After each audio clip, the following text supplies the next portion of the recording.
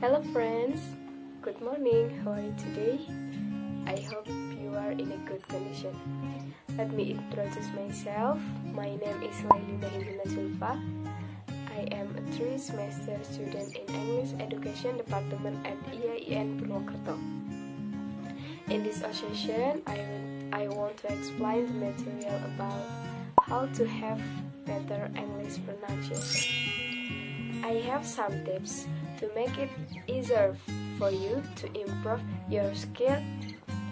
The first tips is you can do it by videos or podcasts. Hearing a lot will be very helpful. Try to remember slowly how the process you can speak. When you were a child, you hear it a lot of other people talking various kinds of words. That's where you start mimicking exactly from intonation, tone, and so on. Slowly, your current syntax Take a look at the many references you want.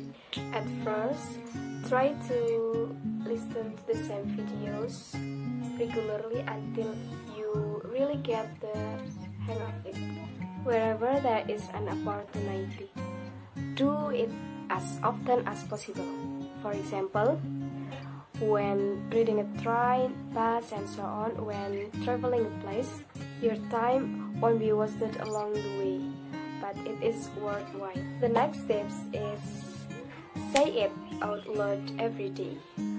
Read them in English loud for at least uh, 15 until 20 minutes.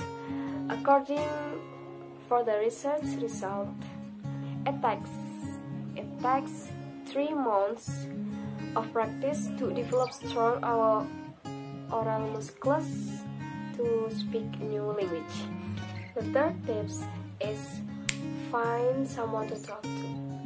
You also have to find someone to talk to, for example, a friend uh, who is more skilled or an English teacher. If there is a partner, they can help correct what is correct and still needs to be repaired. Uh, this method will make the learning more fun. The next steps is find a model. Uh, you can try to find a figure that you are a role model. Imitate how the person is speaking. Say it word for word. For example, your artist, your idol artist. Watch the film or interview session Listen carefully to the pronunciation, dialect, intonation, and so on. Don't forget to observe the movements of his mouth. The tip when you speak English, try to imagine that you are not talking. Pretend to be someone else. You are your role model, for example. Follow the way to imitate his characteristic in speaking. Well, it's a bit awkward, uh, but it's worth a try because it's effective. And then last tips is do it like singing. How can you memorize the lyric of your favorite English song? Well, try to practice in this. Hear lots uh, of English songs. I think enough for me.